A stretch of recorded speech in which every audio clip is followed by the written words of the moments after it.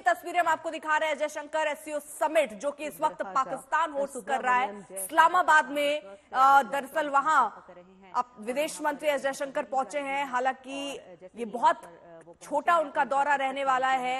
24 घंटे से भी कम वो समय वहाँ बिताने वाले हैं और नौ सालों में अगर हम देखें तो कोई विदेश मंत्री वहाँ पर पहुँचा इससे पहले सुषमा स्वराज वहाँ पर पहुँची थी अफ़गानिस्तान के मुद्दे को लेकर बातचीत होने लेकिन नौ साल बाद भारत के कोई विदेश मंत्री पाकिस्तान दौरे पर हैं।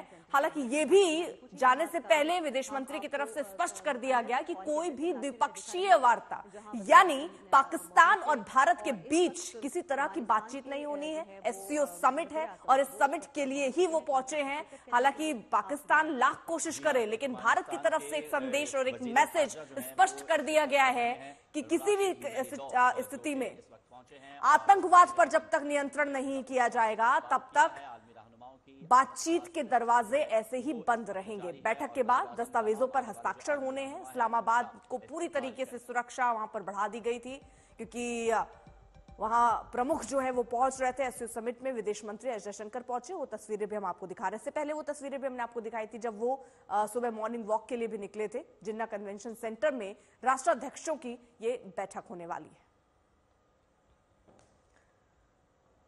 हालाँकि शुरुआत में ही पाकिस्तान के प्रधानमंत्री शहबाज शरीफ का स्वागत भाषण है। इससे पहले उन्होंने डिनर भी दिया। गीता भी हमारे साथ, हमारे सहयोगी इस वक्त जुड़ चुकी हैं। गीता, जरा आज का पूरा प्रोग्राम बता दीजिए।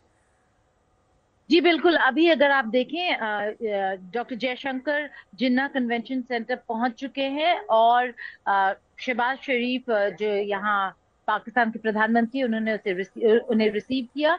और अभी गेस्ट आ ही रहे हैं, आप विजुअल्स पीछे देख भी सकते हैं। लीडर्स अभी आ रहे हैं, शहबाज शरीफ इंतज़ार कर रहे हैं और हर एक लीडर को वेलकम कर रहे हैं। इसके बाद जो ओपनिंग रिमार्क्स है, वो होगा। ओपनिंग रिमार्क्स के बाद कंट्री स्टेटमेंट्स होंगे। डॉक्टर जयशंकर का जो कंट्री स्टेटमेंट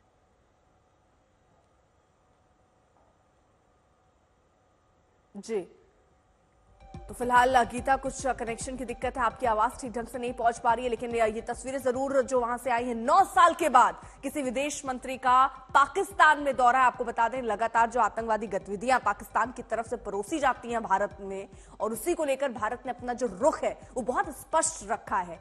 आज जब विदेश मंत्री वहाँ पर हैं, इससे पहले जब वो जाने वाले थे, हालाँकि कुछ खबरें ये भी थी कि वीडियो कॉन्फ्रेंसिंग के ज़रिए विदेश मंत्री वहाँ शामिल हो सकते हैं न्योता प्रधानमंत्री को गया था, लेकिन विदेश मंत्री वहाँ पहुँचे हैं। पहले था कि वीडियो कॉन्फ्रेंसिंग के ज़रिए भी जुड़ सकते हैं, लेकिन ऐसे में फैसला लिया गया कि वो वहीं पर पहुँचे हैं। बहुत छोटा उनका ये दौरा रहने वाला है 24 घंटे से भी कम वो समय वहाँ बिताएँगे। और जाने से पहले ही उन्होंने तस्वीर साफ़ कर दी थी कि कोई भी द्विपक्षीय वार्ता पाकिस्तान के साथ नहीं होनी है। यानी भारत ने अपना संदेश बिल्कुल कड़ा रखा है कि आतंकवाद जब तक खत्म नहीं करेगा पाकिस्तान। भारत की तरफ़ से कोई बातचीत नहीं होगी पाकिस्तान के साथ। और पाकिस्तान को कई मोर्चों पर इसका खमियाजा भी भुगतना पड़ा है। इससे पहले राजनाथ सिंह को भी आपने सुना, क्योंकि पाकिस्तान जिस तरह आर्थिक मंदी के दौर से गुजर रहा है, कई लोगों के सामने हाथ फैलाकर, फंड की मांग करता नज़र आता है। राजनाथ सिंह ने भी कहा था कि अगर भारत के साथ संबंध अच्छे होते तो हम ही फंड करते, लेकिन वो संबंध पाकिस्तान ने अच्छे बनाए नहीं। आतंकवाद परोसने की वजह से आज खुद वो गड्ढे में घुसता जा रहा है।